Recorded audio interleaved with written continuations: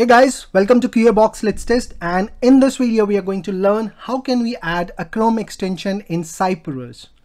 So the extension that I'm going to load to this Chrome test runner is ignore X-frame header. And why I've chosen this, I'll tell you towards the end of this video. But if you click on this, you see ignore X-frame header is currently not present.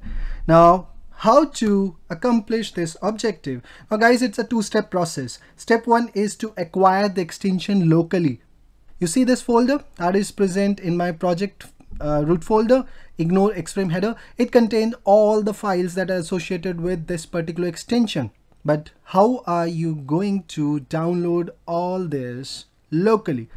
All right, so for that you require another extension, okay?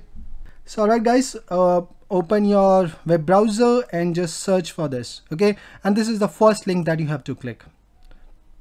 Once you click this you have to install this. I've already done that. It's going to be very simple okay? You just have to click on this button and it would get added as an extension to your Chrome browser all right as you could see in here. Now what I've done is I've pinned this particular extension and hence I am seeing this in here now Next thing that you have to do is whatever extension that you want to download, you have to open that, okay? Like this, ignore X-frame headers. And now you click on this and you get this option, download as zip. So you download that, okay, and unzip it. So you copy that unzip folder and put that the root of your project like I have done already, okay? Now step two is to load this extension into Cypress. And for that guys, we would make use of browser launch API. So again, let's open the documentation. All you have to do is again, open Google and just type Cypress browse launch API. Alright guys, so this is your page and as you could see in the documentation, before Cypress launches a browser, it gives you the opportunity to modify the browser preferences, install extensions, add and remove command line arguments and modify other options from the plugin files. So we want to install an extension, so this API is going to serve us, okay?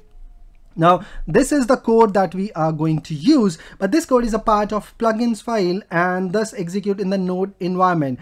Now node events are synchronous in nature guys. That's another important thing to understand. Not just limited to Cypress, wherever you go. So node environment has got these events being written in the synchronous way. Okay.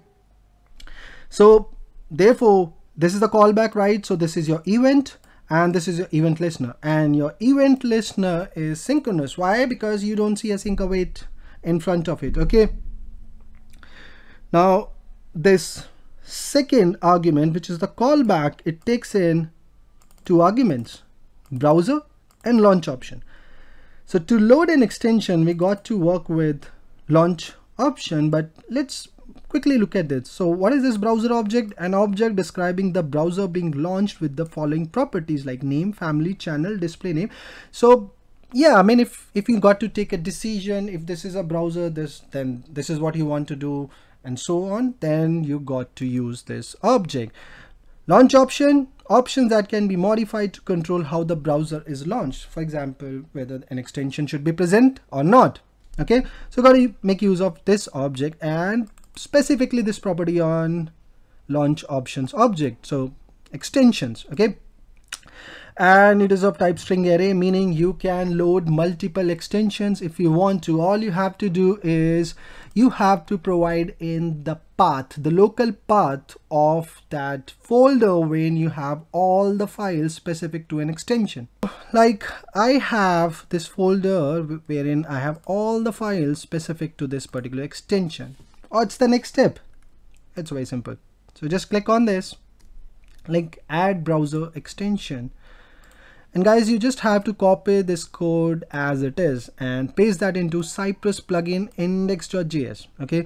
And this is the launch option. Then you've got the extensions method, right? This is a property, sorry. Then you have got the push method. In the push method, you have to provide in the path. Okay. So I have already done that in the interest of time. So let me open, go to Cypress plugins index.js. In here, you have this code. Okay.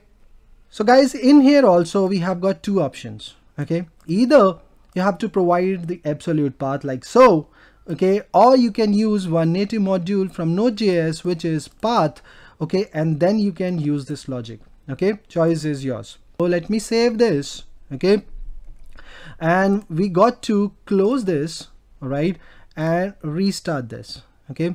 So let me click on the loading bar.spec.js and I hope that extension is available. Guys it's available right so we are able to load a chrome extension successfully all right now why did i choose this? Well for that eh, we have to understand a concept so xframe options is a web header that can be used to allow or deny a page to be iframed okay why do we deny if somebody loads your application inside a frame, it is considered as a security vulnerability. Because how does a user will figure out whether the user is working on a genuine website or a framed website? Okay, so a lot of application ensures that the end product, which is the application that they have created, cannot be iframed.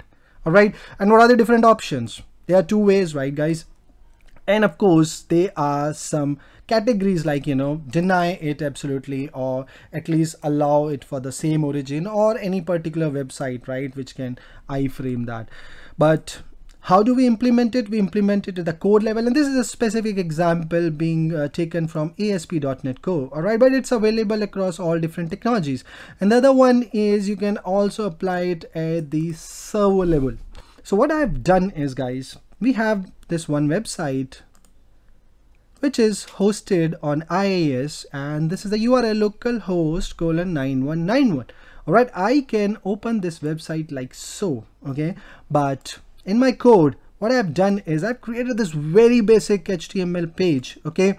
And I have iframed that website okay? Like so this is what you do. You set the source attribute to the URL of the website that you want to frame okay? Now if I do a right click and launch that you see it is not loading. Let me close this and open that in here only all right so if you open the console, you would see refuse to display in a frame because X frame option is set to deny. All right. Now I'll show you an interesting thing. So if I run this test in Cypress, right, I should see the same thing. No, I'm not going to see the same thing. Why? Because in the very first video of Cypress series, right, I mentioned that Cypress iframe your application okay? So even if you know you have added that header in the response cypress just removes it ignores that particular response header and then load your website. Let me show you. If i run this thing okay in cypress that website is still getting loaded okay? And what is the reason? That particular header is removed. So cypress does that out of the box for you so that it can frame your application okay? Now how can I implement the same? So we got to use the same extension guys. So if I just add it to the Chrome right add extension like so right and go back to this page and load it. Now you see the page is loaded and Cypress does exactly the same okay? So I hope you like this content. I'll see you in the next video. Thanks for watching